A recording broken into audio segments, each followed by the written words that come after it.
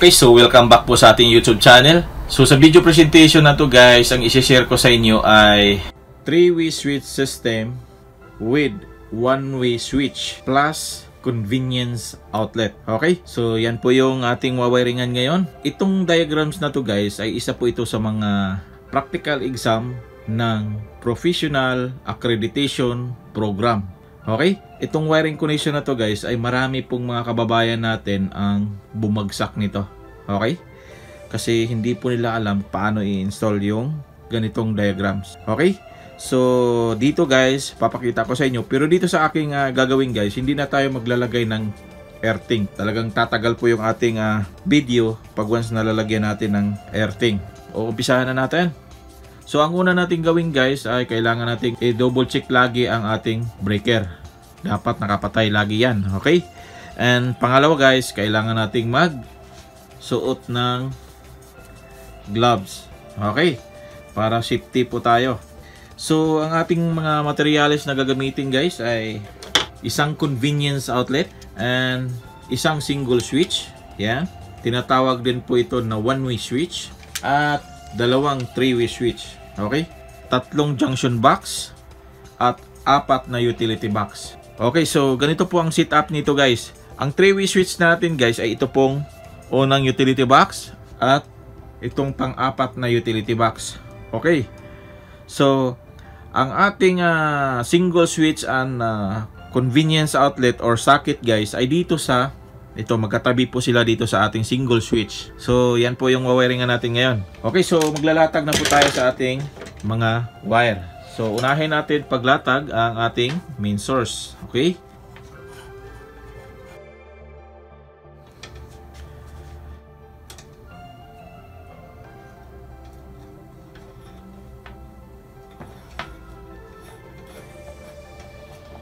Sundan nyo lang po yung diagrams natin guys na naka-display sa ating screen.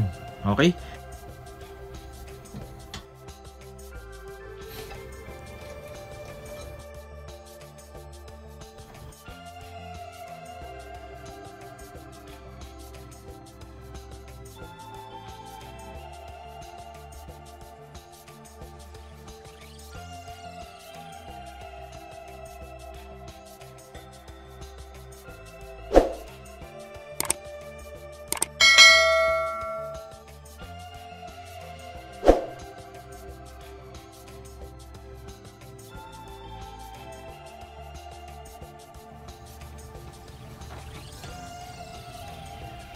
Okay. Sundan nyo lang po yung ating diagrams na naka-display sa ating screen. Okay? Ito po yung ating three-way switch. Dito. At saka ito. Ito po yung three-way switch natin. Ito guys, ito po yung ating uh, single switch. Okay? So dito naman guys, ito po yung ating outlet or socket. No? So dito natin ilalagay. Okay? So maglagay din po tayo ng isa pang jumper dito. Blue. Ito guys, magja-jumper po tayo dito sa ating uh, single switch, no? So, magja-jumper lang po tayo dyan. Yan.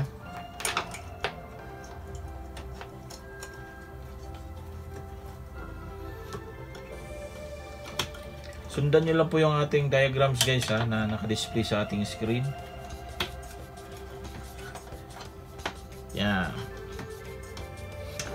So ito guys, medyo magulo na po siya no. Yan. Ang wiring diagram na to guys ay marami pong bumabagsak na mga kababayan natin no. Okay, so ang susunod natin na gagawin guys ay gaya ng sinabi ko nung unang mga videos na pag nasa installation po tayo guys, laging unahin natin yung neutral.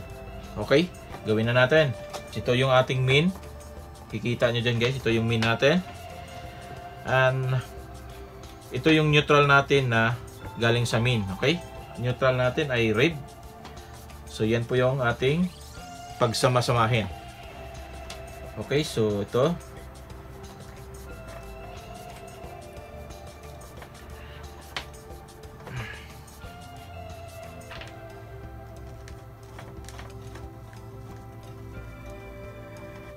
Yan.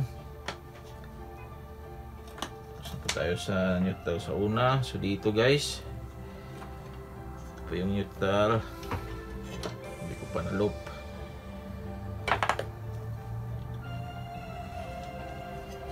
yan.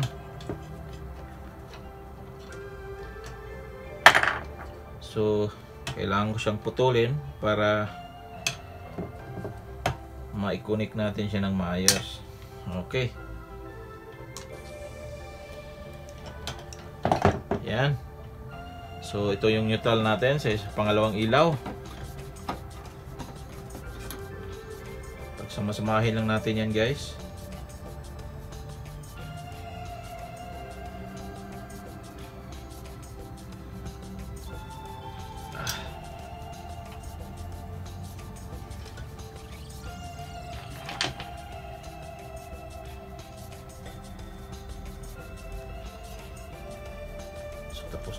Dyan. So, dito na po tayo sa pangatlong ilaw. Okay? Ito na po yung pinakahuling neutral natin guys.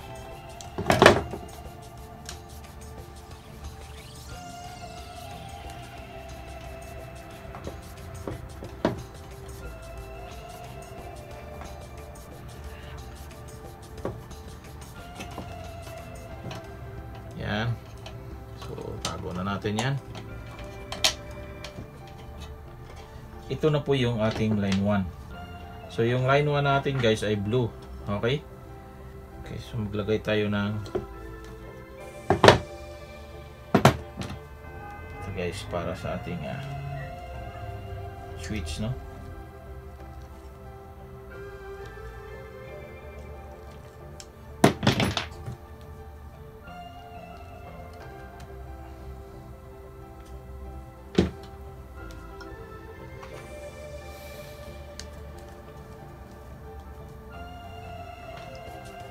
Okay, ito po yan.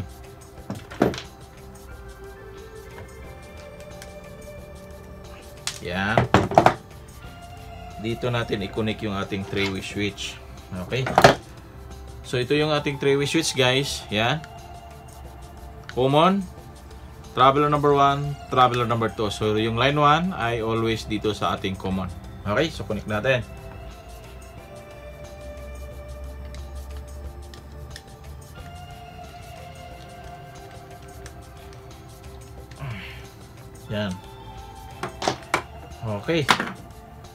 Ngayon guys, inuna natin yung ating uh, switch number 1 sa ating 3-way switch. So ikabit na rin natin guys yung ating uh, traveler number 1. Okay? So itong traveler number 1 natin guys, yan. Ito yung gawin nating traveler number 1 yung ating kulay blue na wire. Okay. So dito tayo. Sana makita nyo guys ha. Yan.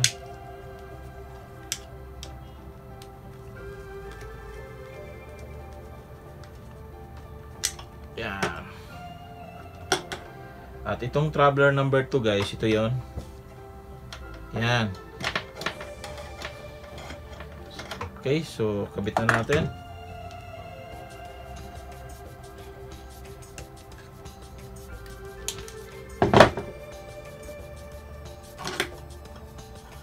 Okay. Yan.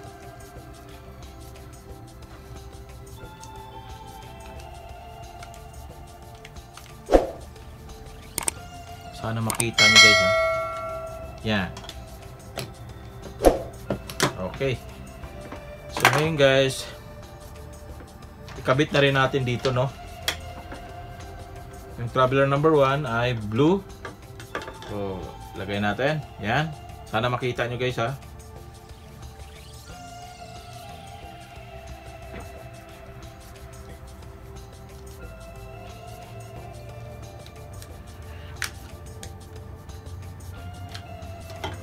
Ang traveler number 2 guys ay puti no.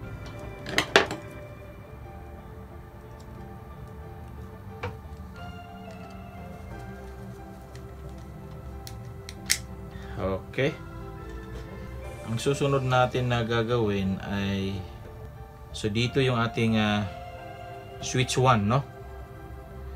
So ilagay na rin natin tong single switch natin, guys. Okay? So ito po yung terminal niya. Makikita nyo dyan. Common L1. Okay? So dito yung L1 natin. Ito po yung switch line. So ito po yung ating line 1. Connected po yan dito guys. Yan. Yan. So dito din natin i-connect yung line 1 sa common, no? So connect natin. Yan.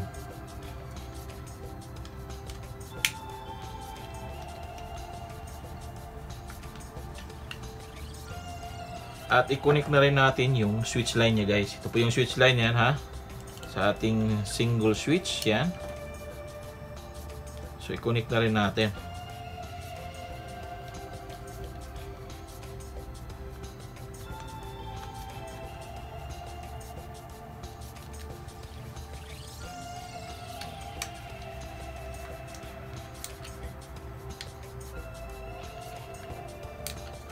So tapos na po tayo dyan. Okay, so dito na tayo sa ating neutral. Doon tayo kukuha ng neutral, no? Okay, dito na tayo ng bababa. So dito guys, dito tayo kukuha ng isang uh, neutral para sa ating uh, outlet, no? So pagpasensyahan nyo na, nakalimutan na naman sa kakadaldal. Okay, so yan. Dito, pwede naman dito eh, pero dito ko na kuha para at least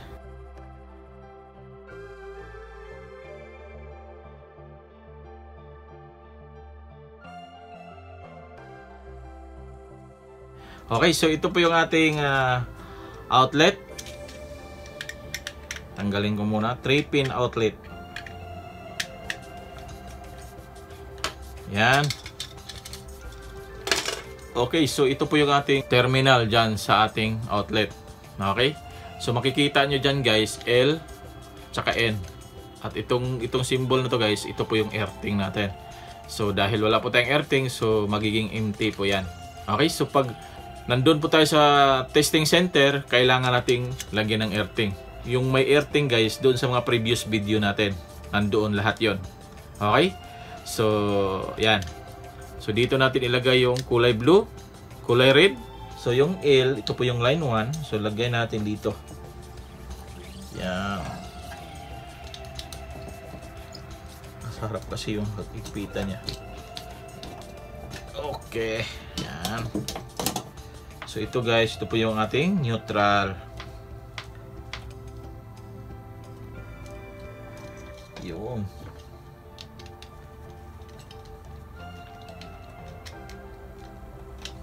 Okay. So yan guys.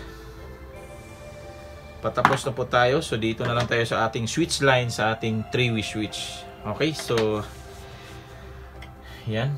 Dapat hindi ito magkahiwalay.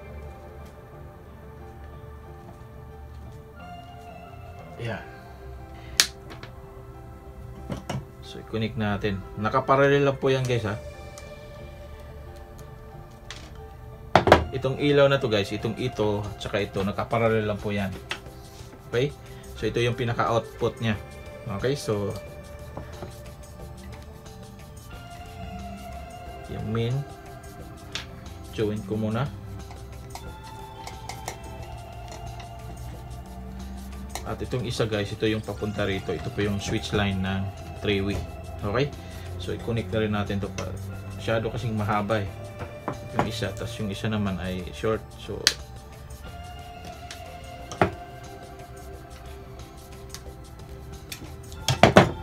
Okay, so itong isa na to guys, bakit siya nag jumper dyan? Ito po yung bumaba dito sa ating switch. Okay, so ganyan lang yan.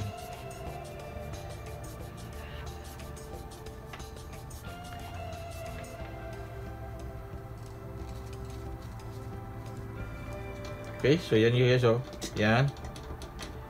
Yan. Okay, so dito na tayo sa pinaka last na wire. Eh. Lumabas. Yan. So, i-connect na rin natin yan.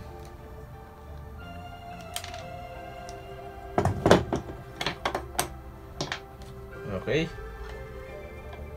I hope na nasundan nyo guys ha. Sundan nyo lang po yung ating uh, diagrams na naka-display sa ating screen.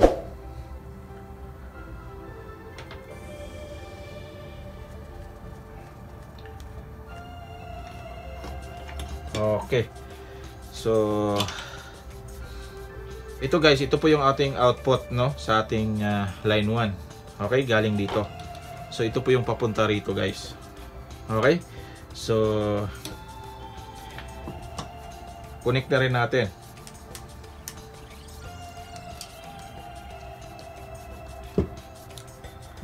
So dito na natin i-connect yung ating switch line sa ating three-way dito sa common. Okay? Yan. Okay. So connect natin.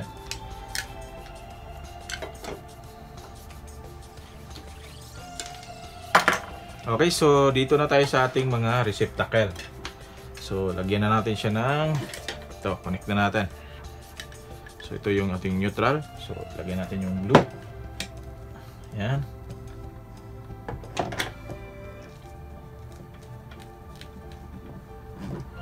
Ating switch line.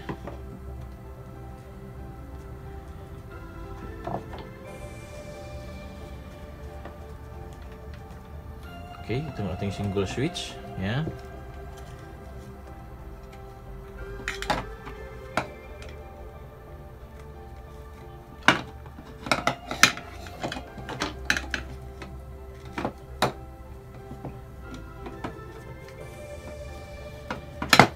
Switch line.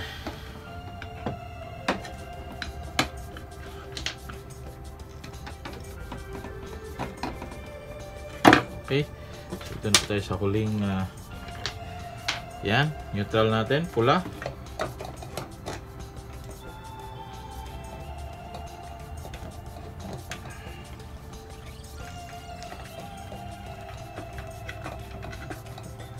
Okay. So, switch line.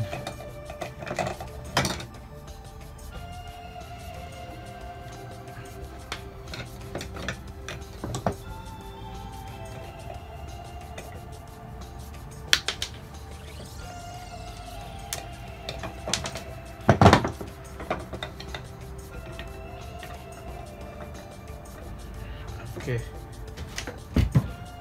Yan. Okay, so ngayon guys, So unahin natin pag uh, balik yung ating receptacle guys. Okay? So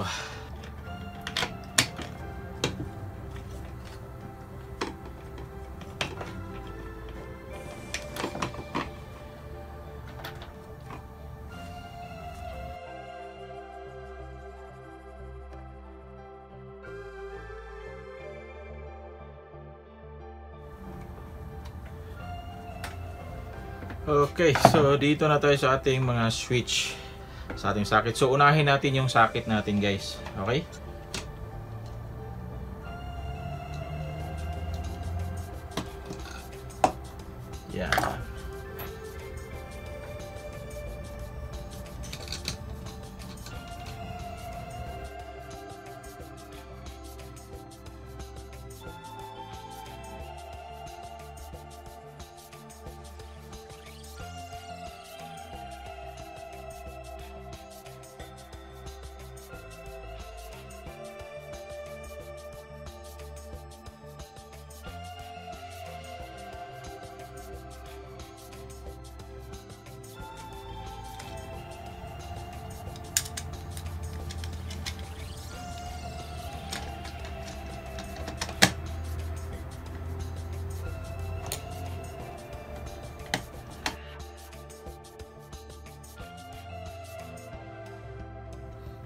Okay, so dito na tayo sa ating single switch.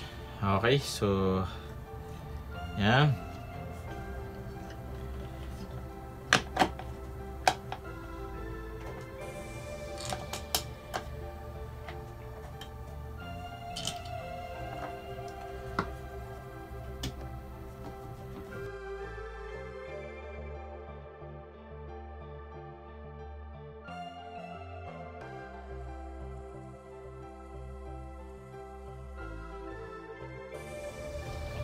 Okay. So, dito na tayo sa ating three-way switch guys. So, i-click na natin. So, kabit lang natin ng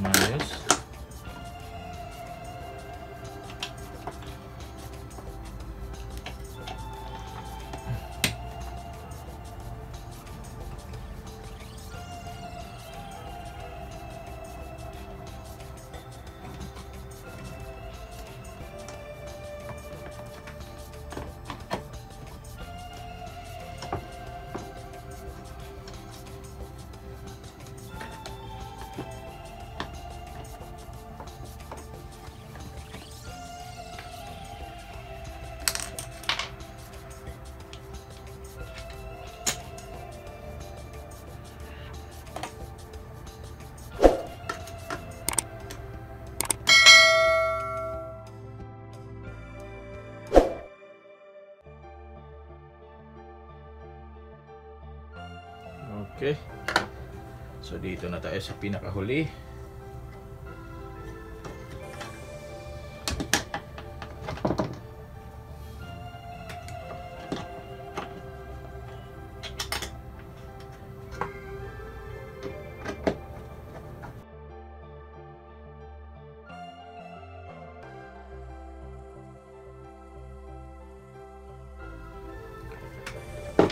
Okay, so ngayon guys, tapos na po tayo. So ang gagawin natin ay maglinis na lang po tayo sa ating uh, mga kalat. Check natin yung ating wiring connection kung wala po bang problema.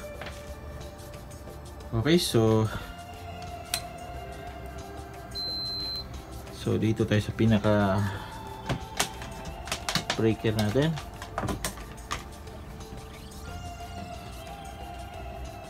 Okay, so walang problema. So yung ating neutral guys ay dire-diretso po yan. Dito. Yan. Okay. So ayos yung ating ginawang wiring connection. So ito po yung ating gagamitin sa ating three-way switch. Okay? So yan. Dito. Yung isa dito.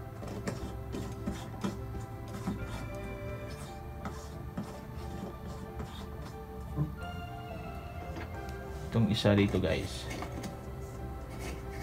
Ito yung single switch natin. Okay so ngayon guys explain ko muna. Ito po yung connection na 3-way switch with single switch plus socket or convenience outlet. Ito po yung ating uh, convenience outlet. Ito naman po yung ating uh, single switch at ito yung ating 3-way switch itong dalawa. Yung ating uh, Three-way switch guys, makokontrol sa dalawang location. So ito po yung tinatawag na mix connection. Itong wiring diagrams na to guys ay marami pong bumabagsak ng mga kababayan natin doon sa testing center no. So dito guys, ituturo ko na po para hindi na po kayo mahihirapan no pag once na ito po yung ma-assign sa atin na diagram. Okay, so on na natin yung breaker guys. Yan. I-on natin dito sa first location. Yan. Off on, off. So, i-on natin dito sa ating uh, second location. Yan. Yan. So, ngayon guys, okay, so on natin yung ating uh, three-way switch. So, i-on natin yung single switch natin guys. Yan. Ito yung single switch natin. On, off. So, ito naman po yung ating convenience outlet. So, i-on natin yan. Okay, so check natin. Makita nyo ba guys? Parang hirap na makita nyo ha. So, check natin.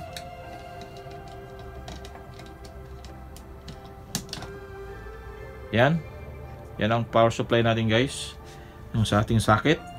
220 o 232. Okay, so patayin natin yung 3-way switch kung maapektuhan ba yung ating uh, outlet. Okay, so nandyan pa rin. On natin. So, i natin dito sa kabila. Yan. Okay, so nandyan pa rin. So, patayin natin yung ating single switch. Okay. So, nandyan pa rin. Okay. Okay. So ayos yung ating wiring connection guys. Ito pong tinatawag na mix wiring connection. Okay? Ginawa po sa isang serkito. I hope na nasundan nyo po yung ating pagwa-wiring at sana may natutunan po kayo. And good luck sa inyo guys.